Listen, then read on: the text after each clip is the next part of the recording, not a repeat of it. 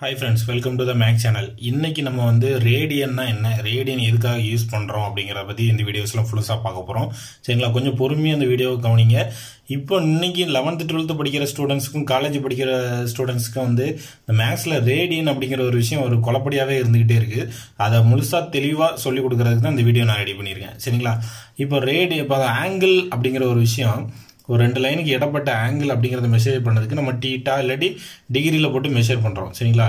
So அப்போ அந்த radian ஒரு விஷயம் வந்து புதுசாக கொண்டாங்க ரேடியனுக்கும் இந்த ஆங்கிள் டிகிரியில் மென்ஷன் பண்ணுறதுக்கும் ரேடியனுக்கும் என்ன ரிலேஷன்ஷிப் இருக்குது அப்படிங்கிறத இந்த வீடியோஸில் நம்ம பார்க்க போகிறோம் ஸோ ஒன் ரேடியன் அப்படிங்கிறது என்ன வேல்யூ வரும்? அதை எப்படி மெஷர் பண்ணுறது சரிங்களா? இப்போ ஒரு சர்க்கிள் எடுத்துக்குவோம். சர்க்கிளை சென்ட்ரலேருந்து இந்த டிஸ்டன்ஸை வந்து நம்ம ரேடியஸ்னு சொல்லுவோம். ஸோ ரேடியஸை வச்சு தான் நம்ம வந்து சர்க்கிள் ட்ரா பண்ணியிருப்போம். சரிங்களா? இப்போ இந்த ரேடியஸோட டிஸ்டன்ஸில் இப்போ ஒரு எக்ஸாம்பிளுக்கு இது ஒரு ஃபைவ் சென்டிமீட்டர் இருக்குது அப்படின்னா இதே டிஸ்டன்ஸில் இருக்க ஆர்க் லென்த் எடுத்துக்க போகிறோம் சரிங்களா? அதை உங்களுக்கு மென்ஷன் பண்ணி காட்டுறேன். இப்போ வந்து இப்போ இதே ரேடியஸோட டிஸ்டன்ஸில் இருக்கிற ஸோ இப்போ இங்கேருந்து ஸ்டார்ட் பண்ணி இதே டிஸ்டன்ஸில் இருக்கிற ஒரு லென்த்து ஓகே இதை நான் வெளியில் வரைஞ்சிருக்கேன். இந்த டிஸ்டன்ஸில் இருக்கிற ஒரு லென்த்தில் இருக்கிற இதையும் வந்து நம்ம ஆறுன்னு மென்ஷன் பண்ணிக்கிறோம். ஸோ இந்த ரேடியஸோட டிஸ்டன்ஸில் இருக்கிற ஆறுக்கு லென்த் எடுத்துக்க போகிறோம் சரிங்களா? இப்போ அதை ரெண்டையும் ஜாயின் பண்ணுறோம் அப்படின்னா உங்களுக்கு ஒரு டிஸ்டன்ஸ் வரும். ஓகே ஒரு செக்டார் ஒரு செக்டார் பிடிச்சிருப்போம். ஸோ இந்த செக்டார்ஸ் வரும். ஸோ நம்ம இதையும் ஆறுன்னு தான் எடுத்துக்குவோம். ஓகே ஸோ இப்போ இதுவும் ஆறு இதுவும் ஆறு இந்த ஆறுக்கு டிஸ்டன்ஸையும் நம்ம ஆறுங்கிற டிஸ்டன்ஸில் இருக்கிற மாதிரி எடுத்துருக்கோம். சரிங்களா?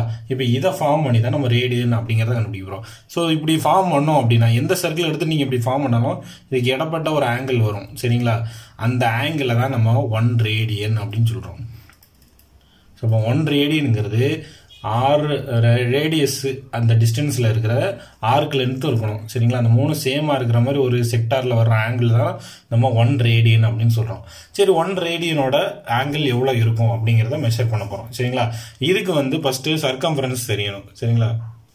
சர்க்கம்ஃபரன்ஸ் சுற்றளவு வட்டத்தோட சுற்றளவு ஃபார்முலா பார்த்தீங்கன்னா டூ பை ஆர் அதாவது இங்கேருந்து ஒரு ரவுண்ட் அடித்து இங்கே வர்றது. அந்த லென்த்தை தான் நம்ம டூ பை ஆர் அப்படின்னு சொல்லி மென்ஷன் பண்ணுறோம் சரிங்களா? இப்போ இதுலேருந்து இது வரைக்கும் உள்ள டிஸ்டன்ஸ் வந்து ஆறு இப்போ மொத்தம் இந்த ஆறு அப்படியே பிரித்து பிரித்து எழுதுனா இதில் எத்தனை ஆறு வரும் அப்படிங்கிறத கண்டுபிடிக்கணும். ஓகே ஸோ அதுக்கு வந்து நம்பர் இப்போ நம்பர் ஆஃப் ஆர்க்குன்னு வச்சுருக்கோம். இப்போ இதில் எத்தனை ஆர்க்கு வரும்? இப்போ ஆறு வந்து ஒன்று இதே மாதிரி இன்னொரு பார்ட் இங்கே கட் பண்ணுறோம் அடுத்த பார்ட்டு அப்படின்னு சொல்லி கட் பண்ணிகிட்டே வந்தால் மொத்தம் எத்தனை ஆறு வரும் அப்படிங்கிறது கண்டுபிடிக்கும் அதுக்கு வந்து இப்போ இந்த டூ பை ஆரை வந்து ஆறால் டிவைட் பண்ணிடலாம். சரிங்களா? இது வந்து ஒரு பார்ட் அப்போ எத்தனை பார்ட் வரும் அப்படின்னு கண்டுபிடிக்கணும் ஸோ இப்போ ஆறு ஆனாலும் கேன்சல் ஆகிட்டுனா டூ பை அப்படின்னு வரும். சரிங்களா? இப்போ இதில் நம்பர் ஆஃப் ஆர்க்கு வந்து ஒரு ரொட்டேஷனுக்கு வந்து டூ பை ரொட்டேஷன் இருக்கும். சரிங்களா? இப்போ வந்து ஓ அப்போ ஒரு ஃபுல் ரொட்டேஷனுக்கு வந்து டூ பை ரேடியன்ஸ் வந்துடும் இப்போ ஒரு ரேடியனுங்கிறது ஆறு. ஓகே ஸோ அந்த ஒரு ஸ்டெப்பு வர்றது ஒரு ரேடியன் சொல்கிறோம் அப்போ டூ பை ஃபுல் ரொட்டேஷனுக்கு வந்து பார்த்தீங்கன்னா ஃபுல் ரொட்டேஷன் ஃபுல் ரொட்டேஷனுக்கு இப்போ என்ன வரும்னா டூ பை ரேடியன்ஸ்னு வந்துடும் ஓகே இப்போ இது வந்து ஒரு ஸ்டெப்பு ஒரு ஸ்டெப்பு வர்றதுக்கு ஒன் ரேடியன் அப்போ இது வந்து ஃபுல்லாக சுற்றி வர்றதுக்கு எத்தனை சொன்னோம் பார்த்தீங்கன்னா டூ பை ரேடியன்ஸ் இருக்கும். இப்போ சர்க்கிளோட செங் சென்ட்ரல் ஆங்கிள் பார்த்தீங்கன்னா த்ரீ சிக்ஸ்டி டிகிரின்னு சொல்லுவாங்க. ஓகே ஸோ சென்ட்ரல் ஆங்கிள் எப்போவுமே த்ரீ சிக்ஸ்டி டிகிரின்னு மெஷன் பண்ணுவோம். அதாவது ஒரு ஃபுல் ரொட்டேஷன் சர்க்கிள் இங்கேருந்து ஸ்டார்ட் பண்ணி சுற்றி வந்தீங்கன்னா த்ரீ சிக்ஸ்டி டிகிரின்னு வரும். ஓகே இப்போ வந்து நம்ம ரேடியன் கணக்குப்படி இது ஒரு ஃபுல் ரொட்டேஷன் வந்து என்னென்னு எடுத்துருக்கோம்னா டூ பை ரேடியன்ஸ்னு எடுத்திருக்கோம். அப்போ இந்த டூ பை வந்து ஆப்போசிட்டில் கொண்டு போயிடும் அப்போ இந்த இடத்துல ஒன் ரேடியன் வந்துடும் ஓகே அப்போ one ரேடியனுங்கிறது three sixty degree by two pi அப்படின்னு வரும். ஓகே ஸோ அப்போ இதை கேன்சல் பண்ணிக்கிட்டீங்கன்னா ஒன் எயிட்டி பை பை அப்படின்னு வரும். பையோட வேல்யூ வந்து twenty two by seven okay so அப்போ ஒன் ரேடியன் வந்து என்ன பண்ணணும்னா ஒன் எயிட்டி பை இந்த பையோட வேல்யூ தெரியல டுவெண்ட்டி டூ பை செவன் போடும் ஆக்சுவலாக டுவெண்ட்டி டூ பை செவன் போடக்கூடாது. அதாவது ஒரிஜினல் பையோட வேல்யூ இருக்குல்ல அந்த வேல்யூ நீங்கள் அப்ளை பண்ணணும். சரிங்களா? அப்படி அப்ளை பண்ணீங்க அப்படின்னா ஒன் ரேடியன் வந்து ஃபிஃப்டி செவன் டிகிரி செவன்டி சரி டுவெண்ட்டி நைன் மினிட்ஸ் அப்படின்னு சொல்லிட்டு வரும். சரிங்களா? அது அப்படியே பாயிண்டில் போய்கிட்டே இருக்கும். ஸோ ரவுண்ட் அப் பண்ணி போட்டிருப்பாங்க. ஓகே ஸோ இதுதான் நம்ம ரேடியன் கண்டுபிடிக்கிறதுக்கான மெத்தட் ஓகே ஸோ இதுலேயே வந்து நம்ம வந்து ரேடியன் கொடுத்தாங்கன்னா எப்படி டிகிரி கண்டுபிடிக்கிறது? டிகிரி கொடுத்தாங்கன்னா எப்படி ரேடியன் கண்டுபிடிக்கிறதுங்கிறதையும் பார்க்கலாம். சரிங்களா?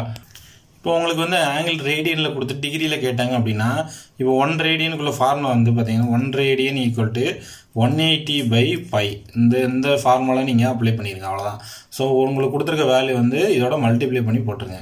இப்போ ஃபார் எக்ஸாம்பிள் வந்து ஃபார்ட்டி டிகிரின்னு கொடுக்குறாங்க ஸோ ஃபார்ட்டி ரேடியன் அப்படின்னா ஸோ இதோட ஃபார்ட்டியை மல்டிப்ளை பண்ணி போட்டுக்கோங்க. So one eighty by twenty two by seven into forty multiply பண்ணி அதுக்கு என்ன ஆன்சர் வருதோ அதுக்கு எழுதிடணும். இப்போ இதே டிகிரி மாற்றி கொடுத்தாங்க அப்படின்னா அதுக்கு என்ன ஃபார்முலாங்கிறது பார்ப்போம். இப்போ டிகிரி கொடுத்து ரேடியன் கேட்குறாங்க அப்படின்னா எப்படி பார்க்குறது போவோம் ஸோ இப்போ ஒரு தேர்ட்டி டிகிரி கொடுக்குறாங்க. தேர்ட்டி டிகிரி வந்து ரேடியனாக கன்வெர்ட் பண்ணணும். என்ன வரும் அப்படின்னா இப்போ இதுக்கு அந்த ஃபார்முலாவை அப்படியே மாற்றி போட்டுக்கோங்க. அவ்வளோதான் விஷயம். இதை மட்டும் நீங்கள் செஞ்சிட்டிங்கன்னா முடிஞ்சு ஸோ இதுக்கு ஃபார்முலா பாருங்கள் ஒன் டிகிரி ஈக்குவல் டு இந்த ஃபார்முலாவை அப்படியே மாற்றி போட்டுக்காங்க. So pi by one eighty அப்படின்னு மாறிடும். அவ்வளோதான் விஷயம். ஸோ இப்போ டிகிரி கொடுக்குறாங்க. அதை வந்து இப்போ ஃபார்ட்டி டிகிரி அதே மாதிரி இல்லை இப்போ தேர்ட்டி டிகிரினே கொஸ்டினில் கொடுத்துருங்க. ஸோ தேர்ட்டி டிகிரி இங்கே போட்டுக்கோங்க. இப்போ இதுக்கு என்ன வரும் அப்படின்னா five into one eighty into தேர்ட்டியை போட்டுக்கோங்க. ஸோ இதை கேன்சல் பண்ணி பைக்கு வந்து டுவெண்ட்டி டூ பை செவனோட வேல்யூ அப்ளை பண்ணுங்கள் அதுக்குள்ள ஆன்சர் வந்துடும் ஸோ இந்த மெத்தட் உங்களுக்கு ரொம்ப யூஸ்ஃபுல்லாக வந்து நினச்சேன் இதனால் வரைக்கும் நம்ம ரேடியன்ஸ்னால் என்னென்ன தெரியாமல் இருந்திருப்போம். அதை இன்னைக்கு எக்ஸ்பிளைன் பண்ணுற விதமாக தான் இந்த வீடியோ போட்டிருக்கேன். ஸோ இந்த வீடியோ ரொம்ப யூஸ்ஃபுல்லாக இருந்திருக்குன்னு நினைக்கிறேன். பார்த்தவங்க சப்ஸ்கிரைப் பண்ணுங்கள் ஷேர் பண்ணுங்கள் உங்கள் ஃப்ரெண்ட்ஸுக்கு எல்லாருக்குமே இதை சொல்லிக் கொடுங்க. சரிங்களா? ஸோ இந்த வீடியோ பார்த்ததுக்கு ரொம்ப நன்றி. தேங்க்யூ